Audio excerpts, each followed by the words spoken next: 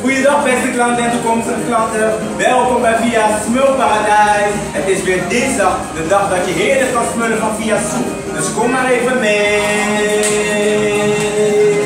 Beste klanten, we hebben weer heerlijke pindasoep met kip en tom-tom, En een versie met kip, tom en zoutvlees. Je krijgt het al warm hè? Zie je straks?